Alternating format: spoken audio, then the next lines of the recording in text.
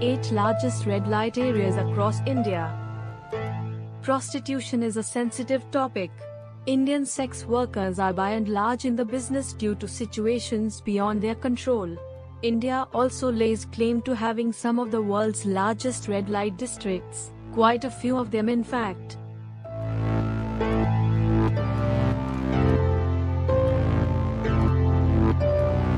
One, Sonagachi, Kolkata.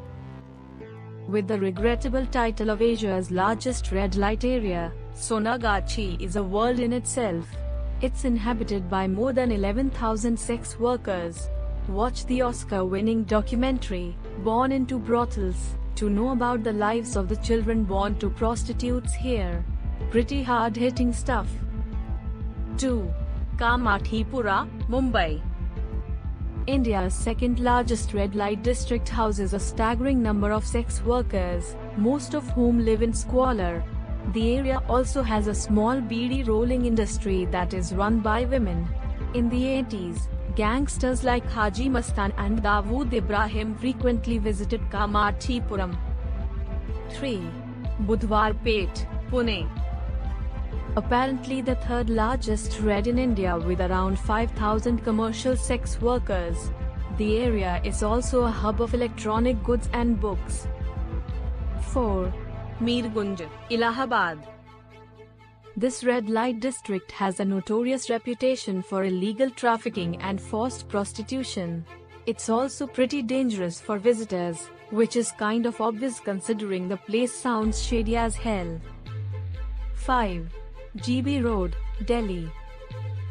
Another large red light area, this place is known for the hundreds of brothels along the streets. There are markets for machinery and vehicle parts on the ground floors and kothas or brothels above them. Strange. 6. Chaturbhujsthan, Muzaffarpur.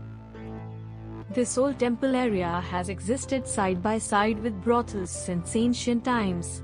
Seems strange, but when you think about the high social space concubines occupied in the old days, it all starts to make sense. 7. Itwari, Nagpur.